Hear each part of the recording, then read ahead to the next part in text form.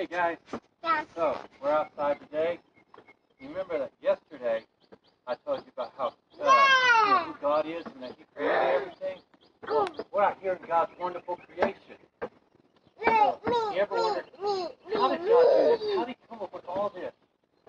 Uh, well, if we look back in the Bible, in Genesis chapter 1, it says, someone did the math at one point, about 6,000 years ago, God came and He created everything. See, the earth was just this dark ball of water. And my son is excited. So, hi Andrew. The earth was this dark ball of water, and God's moving around over the water. Huh? I need, I need to work. So let's see. What's the first thing I need to? Oh, Daddy, he goes over here. Click. He flips. Someone have a picture. Click. He puts the light on. Okay, what we do, if we need to work, we got to turn the lights on. And how he did that, he just said, "Let there be light," and the light was on. And God, what's that? because all God has to do is just speak. He's that powerful. And God said, "All right, the light that's daytime, and the dark, He separated on the other side of the earth, and that's nighttime." And God said, "Day one, done." Got from something else. now the second day, God said, "All right, well, we got our lights on. Now let's see, what do we do? Hmm. Well, there's all this water. Let's do something with the water." So we got some of the water on the ground, and took the other water and put it way up in the outer space.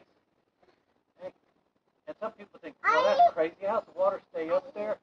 But scientists have actually found water in space. It's really cool. They actually say there's more water in space than anyone ever imagined. Uh, and God put the, you know, formed the air for us to breathe, uh, and all the, the vastness of space. But there was still nothing out there. And that comes up later. But that was the end of day two. Uh, day three, God's like, all right, we got this area now. I got me a room to work in. And he takes the water. He says, all right, water, here, come here, come here, come here, water, come here. He puts all the water into one spot.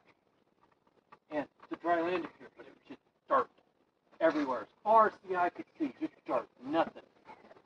So God said, well, hmm, I need a canvas to put all my artwork on of the, the earth. So all right, first thing he tells the ground is, all right, ground, I want you to bring forth seeds uh, and plants and grass, trees and herbs. Uh, we got our apple trees, our pear trees, the cinnamon plants, the sugar cane. Yeah, just love that one. Uh, even some spices, all the all those plants that we know today, God created them on the uh, day three. And all right, that was perfect. So that's the end of day three. You all right, day four. Let's see what can we do today. He's like, you know what? I got lot uh, day night. I need to do something. I need something to govern so we can know uh, time frames and everything. So God created the sun, and He said, all right, sun, you're in charge of the day. And he goes across the sky during the day, and the moon He created to go across the sky at night. And that kind of gave us that time frame. And God also created all the stars and the whole universe and all of our solar systems, everything out in space God created on the fourth day. And I like, all right, that's good. So then the fifth day, this where it fun. God's like, all right, well, we got water and we got air. We need something in them. So God's like, all right, fish. So he said, all right, water, I want you to bring forth fish, like whales and sharks, uh, and little minnows, big, huge uh, uh, whales and fish, I mean, fish of all sizes. Now in the air, so the air said, all right, hey, bring forth all these birds, all their kinds, the owls, the pelicans, the little mockingbirds and the robins, the little robins, and all of our birds, and the, the eagle. We gotta have our eagle America likes our eagle. And he sent them out, and I was like, all right, that's the day, uh. end of day four, five, five. I'm losing my days here. The sixth day, six day was special. God's like, all right, we've got this land, we got all this grass and trees, it's a beautiful place. I know. He created all the animals, the, all the reptiles, you know, alligators. Uh, I guess he created the snakes in too. They would be alligators or reptiles, and the mammals, the dogs, and the cats, lions, and tigers, and bears. Oh my! Oh my, yes. He also created all the bugs too. But back then, everything was perfect.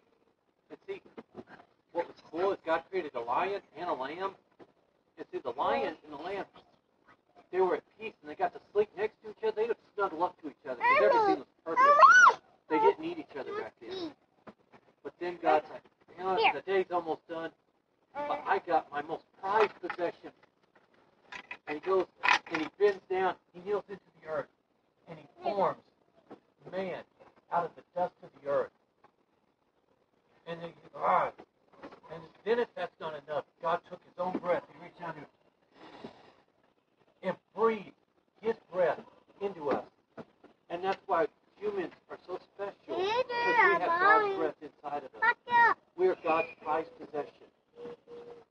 Uh, and that's what, even then in the story of creation, it teaches us too is that that's what God wants uh, for our lives even too. He wants to create, take our lives to maybe nothing. Um, maybe you'll fall apart and we don't even know what we're going to do with our lives. And he wants to form us into a perfect creation. So if you just listen to God and you read your Bible and pray, God will form you into a perfect creation that's perfect for you. You may be different. I mean, you're different from your buddies